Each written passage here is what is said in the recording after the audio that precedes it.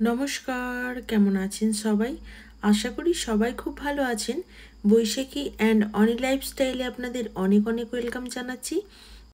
তো আজকে আমি আপনাদেরকে আলু করলার মশলা ফ্রাই বানিয়ে দেখাবো। তো এটা সবাই খেতে চায় না বাট এভাবে একবার বানিয়ে দেখতে পারেন, আশা করি আপনাদের ভালো লাগবে। তো এখানে আমি দুটো করলা নিয়ে নিয়েছি। করলাটা যত তাজা হবে, তত ভালো মানে টাটকা হলেই বেশি ভালো হয়।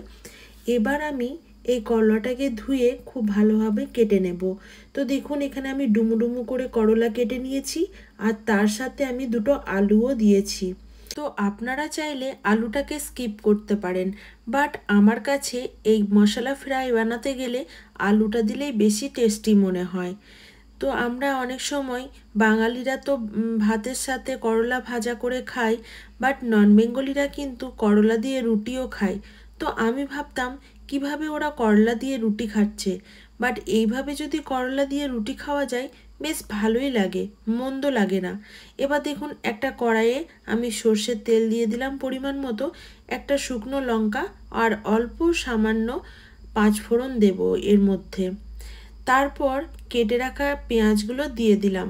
পেঁয়াজগুলো আমি খুব পাতলা করেও কাটিনি আবার খুব একটা মোটা করেও কাটিনি। ওই মিডিয়াম সাইজে কেটেছিলাম। পেঁয়াজগুলো হালকা একটু ভাজা হয়ে এলে এর মধ্যে আমি আলু আর করলাটা দিয়ে দেব। বাট এই রান্নাতে একটু তেলটা বেশি দিলেই ভালো মনে হয়। তো আমার যতটুকু প্রয়োজন, আমি সেইটুকুই দিয়েছিলাম। এবার আলু করলাটা পেঁয়াজের সাথে খুব ভালোভাবে একবার নাড়িয়ে চাড়িয়ে নেব। তারপর এর মধ্যে আমি কিছু গুঁড়ো মশলা অ্যাড করব। যেহেতু এই রান্নাতে আমি কোনো জল দেব না, তাই আলু আর করলাটা প্রথমে যে খুব লাল করে ভেজে নিতে হবে, তার কোনো দরকার নেই। তো দেখুন, এখন আমি লবণ দিয়ে দিলাম। লবণটা দিলে করলা আর আলুটা খুব তাড়াতাড়ি নরম হয়ে যাবে। আর তার সাথে দিয়ে দিলাম লঙ্কা গুঁড়ো, হলুদ গুঁড়ো আর জিরে গুঁড়ো। আমি আমার প্রয়োজন মতো দিয়েছি।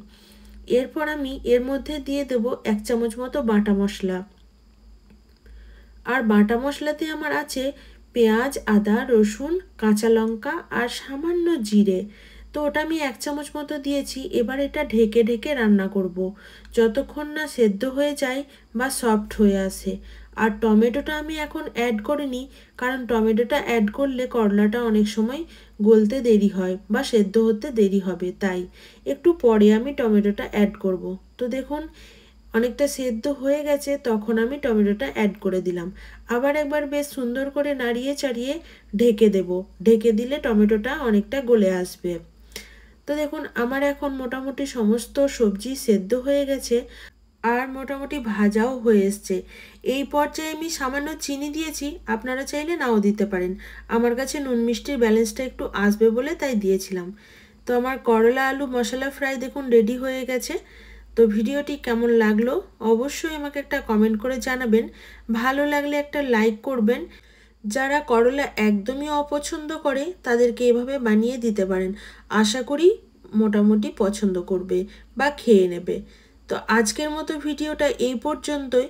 ভালো লাগলে লাইক করবেন, একটা কমেন্ট করে জানাবেন। পারলে একটা শেয়ার করে দেবেন। আর নতুন হয়ে থাকলে চ্যানেলটা সাবস্ক্রাইব করার অনুরোধ রইল। আজকের মতো আসি টাটা বাই দেখা হচ্ছে নেক্সট কোনো ভিডিওতে